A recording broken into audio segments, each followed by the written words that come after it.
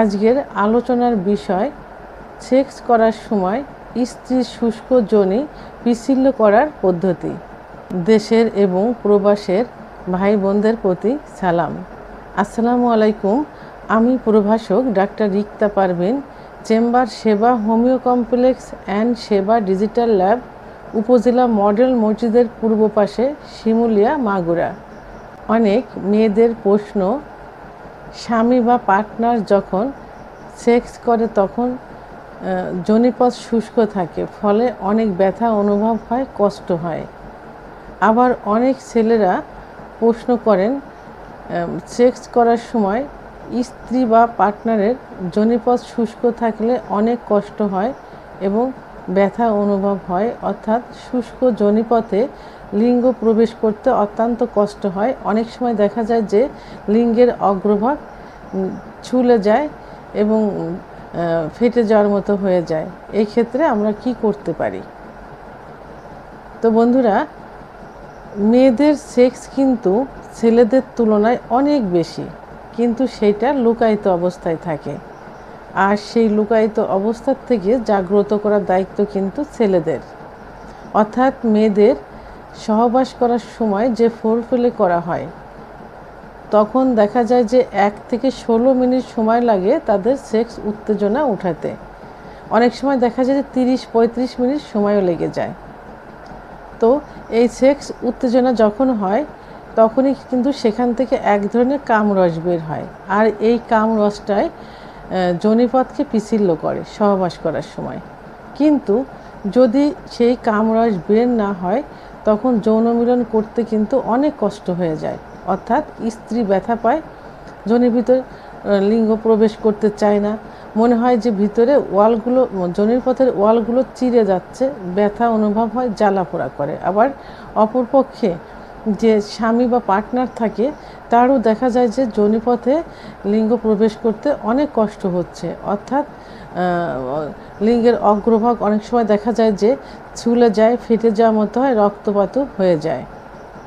তো এই জন্য যৌন মিলন করার পূর্বে স্ত্রীকে পর্যাপ্ত পরিমাণে ফোর ফেলে করতে হবে। অর্থাৎ স্ত্রীর যেসব জায়গা সেন্সিটিভ জায়গা আছে, সেই জায়গাগুলোতে ফোর ফেলে করতে হবে। ফোর ফেলে করার পরেও যদি কামরাস বের না হয়, তখন সহবাস করার সময় আপনি আপনার লিঙ্গে অথবা স্ত্রীর জনিপথে অলিভ অয়েল অথবা নারিকেল তেল ব্যবহার করতে পারেন। অনেক সময় দেখা যায় যে অনেকে সরিষার তেল ব্যবহার করে। যে কারণে তারা কষ্ট অনুভব করে, কিন্তু আসলে বুঝতে পারে না। কারণ সরিষার তেল ব্যবহার করলে অনেক সময় জ্বালা পোড়া হয়, ভিতরে পুড়তে থাকে, অনেক সময় দেখা ব্যথা অনুভব হয়। আবার অনেকে দেখা যায় যে ভ্যাজলিন অথবা কৃত্রিম লুব্রিয়ানা ব্যবহার করে থাকে। এগুলো কিন্তু অত্যন্ত ক্ষতিকর।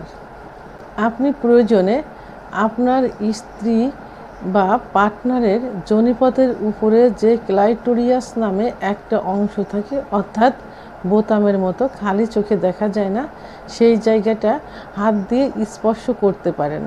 বারবার হাত দিয়ে স্পর্শ করলে অনেক সময় দেখা যায় যে উত্তেজনা সৃষ্টি হয়। আবার এটাও করতে পারেন যে আপনার লিঙ্গ জনিপথ এবং ক্লাইটোরিয়াসে লাগাতারভাবে সঞ্চালন করতে পারেন। লাগাতার সঞ্চালনের কারণে অনেক সময় অর্গাজম হয়ে যায়। অর্গাজম হয়ে গেলে দেখা যায় সেখান থেকে যে কামরসটা বের হয় সেটাই জনিপথকে বিচ্ছিন্ন করে ফেলে। তো যদি এটাও সম্ভব না হয়, তাহলে এই যে সঞ্চালন করার সময় আপনার লিঙ্গের দিয়ে এক ধরনের পিছিল্য রস বের হবে। এই রসটা দিয়েও আপনি আপনার স্ত্রীর জনিপথ পিছিল্য করতে পারেন। এই যে আমি বিভিন্ন পদ্ধতির কথা বললাম, এই পদ্ধতি দিয়েও যদি কামরাজ বের না হয় এবং জনিপাত পিছিলো করতে না পারেন, তাহলে আপনি আপনার নিজের হাতের নখ দ্বারা স্ত্রীর জনিপথ সঞ্চালন করতে পারেন। অবশ্যই সঞ্চালন করার পূর্বে নখ ভালো করে পরিষ্কার করতে হবে এবং নখে যে যে চারি থাকে সেটা কেটে ফেলতে হবে। তা না হলে দেখা যাবে যে জনিপথের ওয়াল অনেক সময় ওয়ালে লেগে, চোট লেগে অনেক সময় রক্তপাত হয়ে যেতে পারে এবং বড় ধরনের ইনফেকশন হতে পারে। তবে এই পদ্ধতিটা যদি আপনি সতর্কতা অবলম্বন করে করতে পারেন, তাহলে অবশ্যই আপনার স্ত্রীর অর্গাজম হবে এবং অর্গাজম হলে জনিপথ পিছিল্য হবে এবং সহবাস করে দুজনেই সুখ অনুভব করতে পারবেন।